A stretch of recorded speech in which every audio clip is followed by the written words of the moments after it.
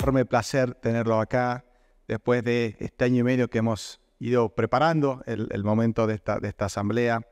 Quiero darle la más cordial bienvenida a esta 20 Asamblea General Intermedia Ducal, a esta aula magna de la Universidad Católica de Salta. Quiero saludar especialmente a todos los rectores, vicerrectores, responsables y directores internacional y a todos los integrantes de las universidades católicas de América Latina y el Caribe que han realizado un gran esfuerzo para estar aquí en Salta.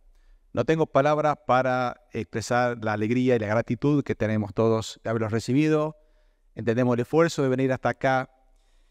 Y, eh, como dice el Papa Francisco cuando habla de periferias, nosotros representamos cabalmente ese concepto. Estamos en la periferia de un país periférico, pero muy cerca del corazón de la Iglesia, dando cabal cumplimiento ese mandato de generar una verdadera universitas en los confines del mundo para el bien y el progreso del hombre. Quiero saludar muy especialmente a las autoridades de la Federación Internacional de Universidades Católicas que nos acompañan hoy, a su presidenta, la rectora de la Universidad Católica de Portugal, doctora Isabel Capoloa, a Nicolás Bergier, del equipo de FIUC. Valoramos muchísimo este gesto de fraternidad y afecto que implica su presencia hoy acá. Asimismo, agradezco el apoyo de toda la Junta Directiva de Educal en esta organización y en el trabajo que estamos haciendo. La verdad que me siento muy acompañado y apoyado por todos mis compañeros de la Junta, Directiva y a mi equipo de Educasal, que trabajaron día y noche para hacer realidad esta asamblea.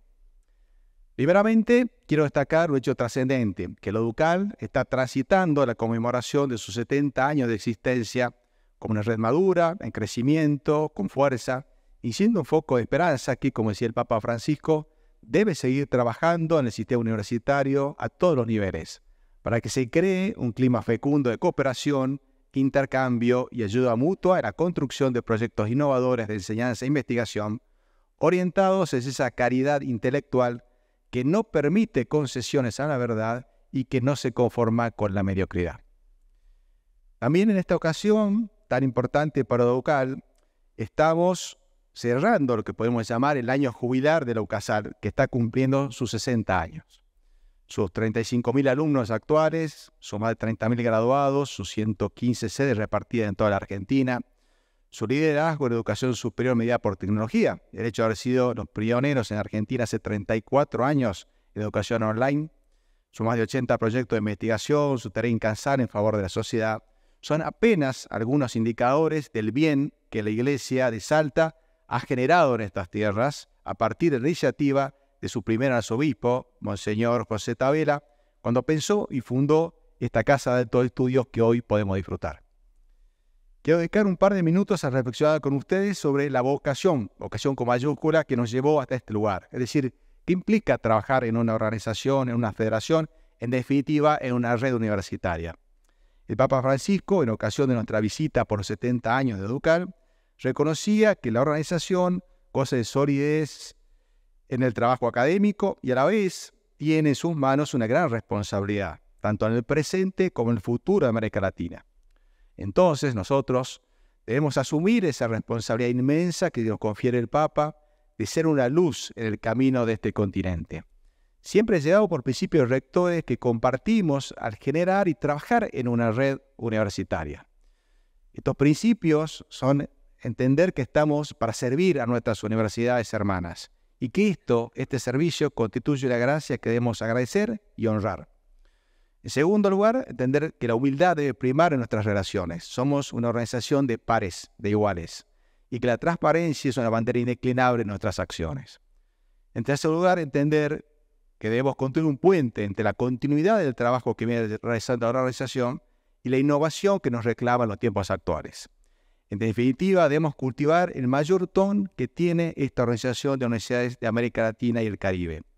La confianza entre sus miembros, que permite multiplicar el trabajo eficiente con cientos de universitarios, profesores, directivos y alumnos comprometidos en cada rincón de nuestro continente que aportan cada uno de ellos un valor incalculable para el crecimiento de todos.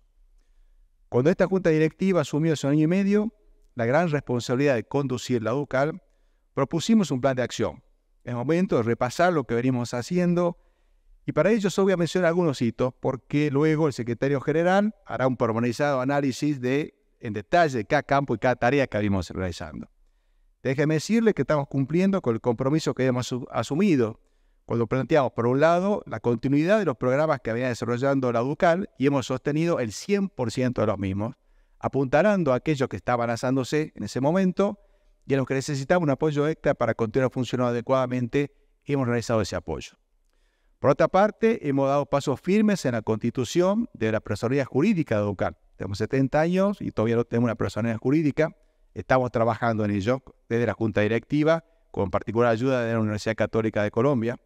Hemos renovado todas las comunicaciones, página web, boletines, redes sociales, y hemos crecido en afiliación este tiempo. Tenemos ocho nuevos miembros que se van a incorporar oficialmente a partir de esta asamblea. Por otra parte, escuchando las necesidades que nos habían planteado antes y después de la Asamblea General de Guadalajara, estamos lanzando acá en Salta cuatro nuevos mecanismos relacionados con la investigación, la digitalización, el pacto educativo y el tema de paz y democracia.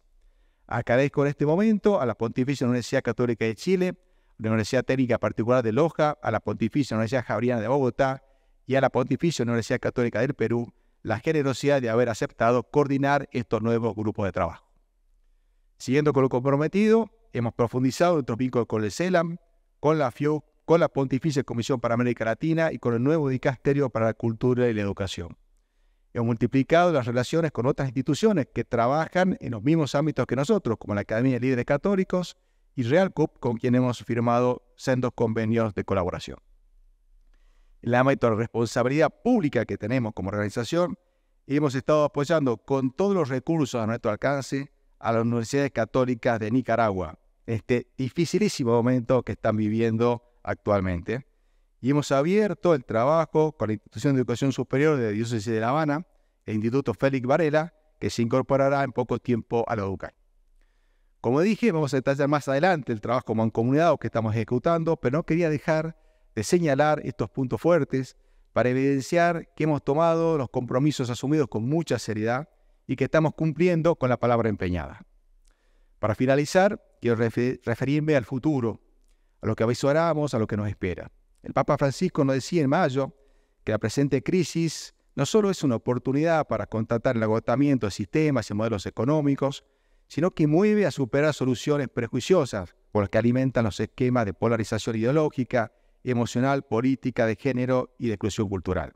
En todo caso, decía el Papa, no nos asustemos frente al caos, porque precisamente de ahí Dios hace sus obras más hermosas y creativas. Creo que todos nos sentimos interpretados en América Latina y consolados por esta frase del Papa. Siguiendo con esta mirada positiva de la vida, como corresponde a hombres y mujeres de fe como nosotros, el futuro nos depara grandes desafíos, muchas incertidumbres también, pero para enfrentar los mismos sin duda es necesario trabajar juntos. Como decía el Papa durante la pandemia, nadie se salva solo. Y únicamente si sabemos potenciar nuestras fortalezas y mitigar nuestras debilidades, estos desafíos se convertirán en oportunidades para nosotros. Universidades católicas que tenemos una misión muy clara que nos marcó el Santo Padre, como reza el lema de esta asamblea. Decía, decía el Santo Padre, quizás la misión de la universidad es, la de formar poetas sociales, hombres y mujeres que, aprendiendo bien la gramática y el vocabulario de la humanidad, tienen la chispa, tienen el destello que permite imaginar lo inédito. No se olvide de esa expresión, formar poetas sociales. Bueno, nosotros, de nosotros depende que estemos a la altura de estos desafíos. No tengo ninguna duda de que con vuestra compañía, con vuestro compromiso, con vuestro apoyo, el futuro de nuestras universidades será absolutamente venturoso. Las universidades católicas en América Latina tienen un gran futuro, tienen un gran rol que cumplir en el presente y en el futuro inmediato de América Latina y desde esta organización de Educal estamos dispuestos a aceptar el desafío.